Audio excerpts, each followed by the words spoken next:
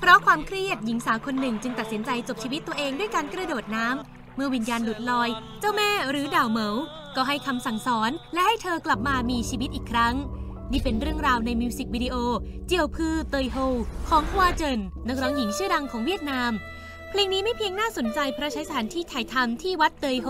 ปูชนียสถานสำคัญของเวียดนาม แต่ยังเป็นเพลงที่แต่งขึ้นเพื่อเป็นเกียรติ ในวาระที่ยูเนสโก ประกาศให้การนับถือเจ้าแม่ดาวเหมาของเวียดนาม เป็นมรดกทางวัฒนธรรมที่จับต้องไม่ได้ในปี 2016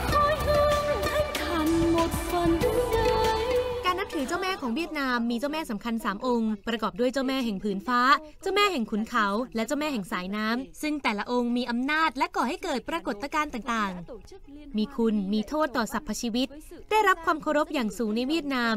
กระทั่งมีการเข้ามาของคอมมิวนิสต์รัฐบาลจึงสั่งห้ามประกอบพิธีกรรมเกี่ยวกับเจ้าแม่ แต่เมื่อถึงปีคริสตศักราช 1987 การบูชาเจ้าแม่ก็ได้รับการรับรองตามกฎหมายทำให้ทุกวันนี้ยังคงเห็นรูปปั้นเจ้าแม่ตามศาลเจ้าทั่วไป เช่นเดียวกับการเข้าทรงเจ้าแม่ ซึ่งสะท้อนให้เห็นถึงวัฒนธรรม การแต่งกาย ดนตรีและการเต้นรำแบบดั้งเดิมที่มีเอกลักษณ์เฉพาะ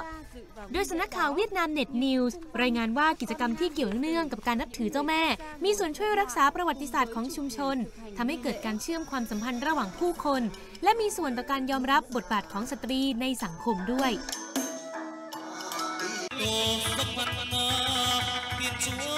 ที่ผ่านมากิจกรรมที่เกี่ยวเนื่องกับการนับถือเจ้าแม่ของเวียดนาม ได้รับการสนับสนุนจากรัฐบาลให้มีการเผยแพร่ในต่างประเทศ เช่นรัสเซียและเกาหลีใต้ รวมถึงยังมีการสร้างการเรียนรู้เรื่องเจ้าแม่ในเวียดนามเองโดยการผลิตมิวสิกวิดีโอเพลงเจียวพือเตยโฮ ได้ใช้เทคโนโลยี 3D ผสมผสานเข้ากับฉากการจัดพิธีกรรมบูชา และดำเนินเนื้อเรื่องให้เข้าใจง่าย ซึ่งฮวาเจินศิลปินเจ้าของเพลงนี้บอกว่า การทำมิวสิกวิดีโอเพลงนี้จะช่วยให้ผู้คนได้เรียนรู้เพิ่มเติม เกี่ยวกับวัฒนธรรมในบ้านเกิด